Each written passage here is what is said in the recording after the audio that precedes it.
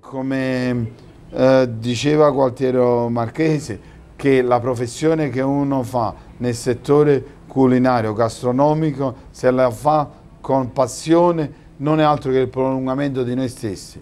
Sul menù non sta scritto pizzeria la notizia, ma sta scritto è il luogo dove Enzo Coccia accoglie gli amici. È un modo di convivialità, di stare bene insieme e di uscire avendo mangiato una pizza di qualità. Quindi una serata piacevole, un sorriso, quanto costa? Non costa tantissimo, ma vale tantissimo. È un concetto di rispetto. Se colui che fa il produttore o il pizzaiolo, in questo caso ha rispetto della persona, delle persone, delle famiglie, dei, degli amici, dei clienti, degli avventori, significa che lui ha rispetto del proprio lavoro, ha rispetto del proprio territorio, ha rispetto uh, uh, dei prodotti che sta uh, lavorando, che sta trasformando, ha rispetto di tutto questo.